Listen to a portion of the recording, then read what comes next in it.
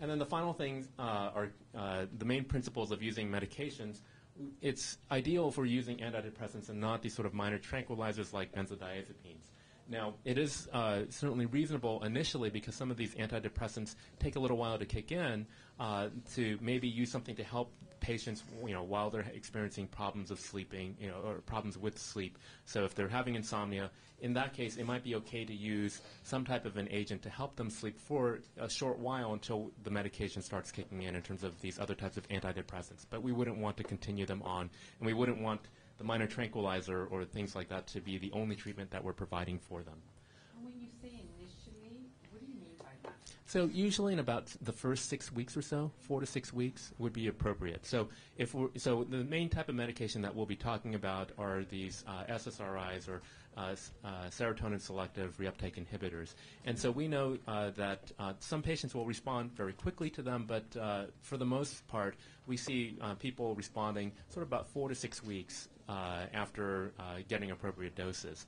And uh, during that time, while we're waiting for those effects to really kick in, they might still be experiencing sleeping problems, and it might, you know, it might severely affect their daily routine. So, you know, somebody's having insomnia problems, you know, and they're just t- fatigued all the time at work, well, we need to do something in the interim. We should, we don't want to wait until four to six weeks when the medications uh, are start working. So at that point, it would certainly be appropriate to use something else to help with that. But at some point, when the medications are working, they shouldn't need that anymore.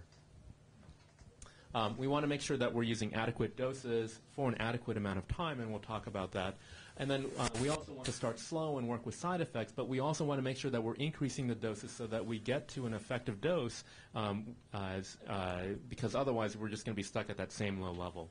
And the final thing is that if it's not working, at some point we just have to say, okay, this is sort of the time point. We've got to switch course. This is, you know, we, you don't want to continue on ineffective therapies. And so usually after about eight to ten weeks, um, at that point, if things, if there really hasn't been much of a change, at that point, it would be reasonable to try a different type of medication or to try a different modality of treatment.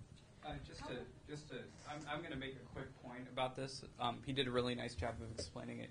The, the big mistake that primary care physicians make is inadequate dose for an for, for an inadequate amount of time.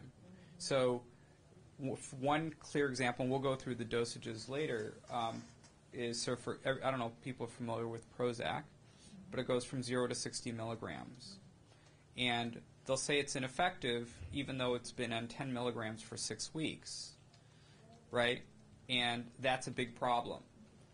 Um, so you want to make sure, and actually, the person who ends up I think a lot of primary care physicians, except for Michael, because he's a super primary care physician, he, you know, most of them. Um, I think a lot of who are just not as trained, they just they they they, ha- they haven't been trained it properly. They rely on the social workers and psychologists to really help them out and figure out what to do with this.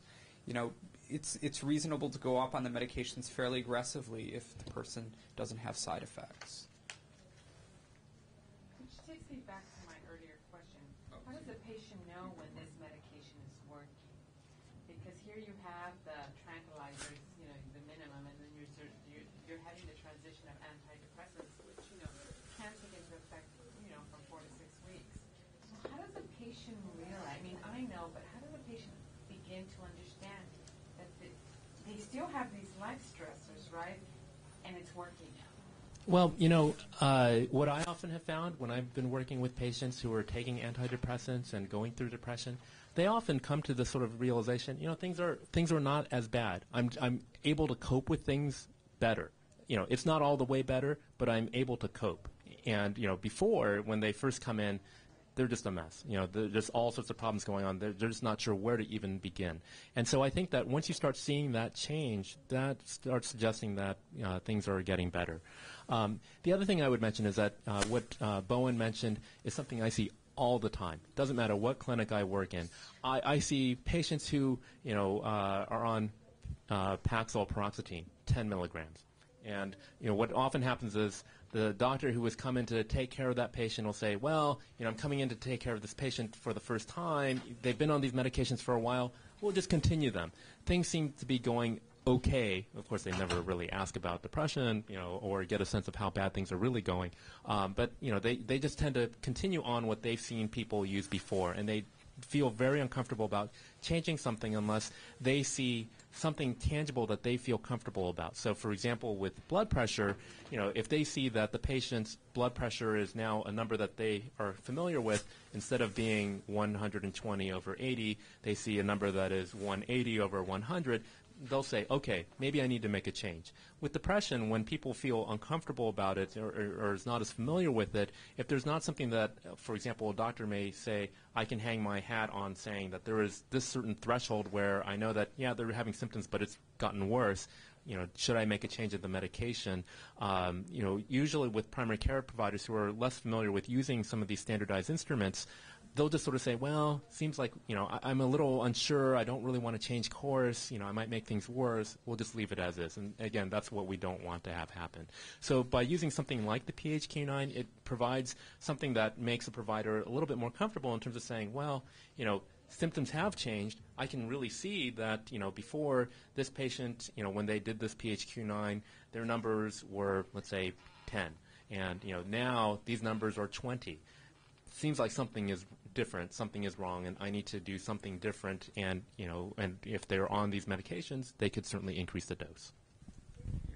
Um, and the other thing is, is that the PHQ-9 score, especially if you keep track of them, they're, they're nice because it, people forget how they answered three weeks ago, so people can look at it. And some places will even graph it out. Um, so I think that that's a nice way to sort of convince people because it's interesting. I mean, you know, because with depression, actually, moods less your your self perception of how you're doing is actually the last thing to change in general on these things. So people move better, they'll function better, they'll sleep better, but their self, their perception of how they're doing is not as good. Uh, is the last thing to change. So we'll go to the. So, so it's good to actually. We, there are a lot of really. Um, there's a lot of choices with antidepressants, and that's wonderful thing. So everybody's familiar with the SSRIs, the serotonin-specific reuptake inhibitors. They've been around for a long time. Uh, I think like 1980, so we're getting close to 30 years, right, with Prozac. Um, fluoxetine, paroxetine. I'm just going to go through the generics. Citalopram or Celexa, uh, sertraline or Zoloft, uh, fluvoxamine, um, Luvox. Uh, there's also now Lexapro or escitalopram, which is still on patent.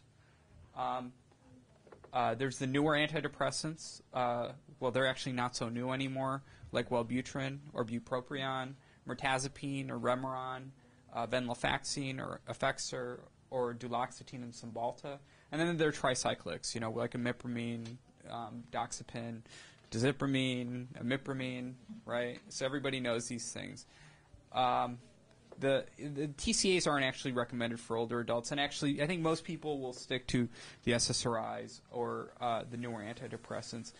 Um, just one thing about these medications that I'll mention is is that a lot of these medications, and this is good for people to know because once the doctor prescribes it or making suggestions, is that a lot of them are actually available as generics now.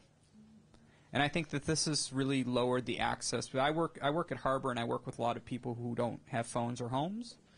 And you know, some of them don't have insurance and the county won't pay for the medications and uh, even a homeless person can figure out how to get 4 bucks a month for some of the for some of the prescriptions out there like at Target, Costco, Walmart, uh, Ralph's, and you can get fluoxetine a month supply for, for four bucks so it's pretty remarkable, or citalopram even. Um, depending on the pharmacy, you know, they'll have different different options. Wellbutrin even.